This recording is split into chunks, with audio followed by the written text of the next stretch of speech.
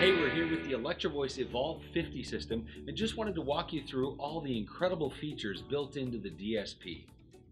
As we take a look at the back of the Evolve 50, you'll see you've got input metering on each of the three input channels, as well as a master level, which will tell you what the overall output for the entire system is.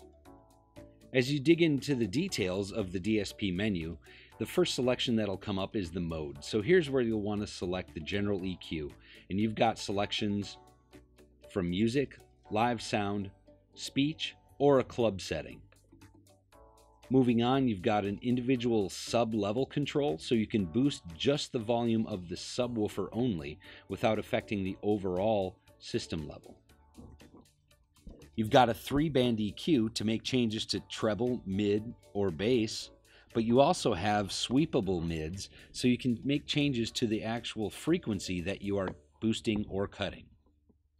One unique feature of the Evolve 50 is we've actually included phantom power on inputs 1 and 2.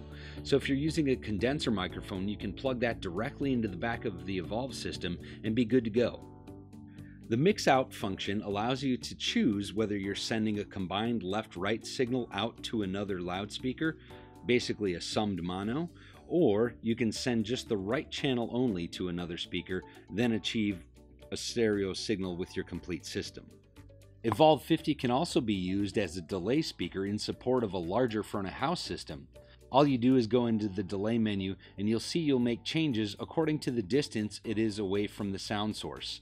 This will be displayed in both feet and meters, up to a total of 100 meters or 330 feet roughly, ensuring perfect time alignment to the rest of your system. The LED function allows you to choose whether the LED on the front of the unit is off, on, comes on as a limit light, or even indicates whether or not you're connected to the control app.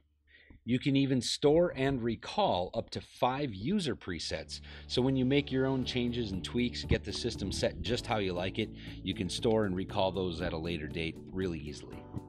Perhaps one of the most exciting features of the Evolve 50 is the ability to use Bluetooth. Both control, monitoring, and streaming is done in this device.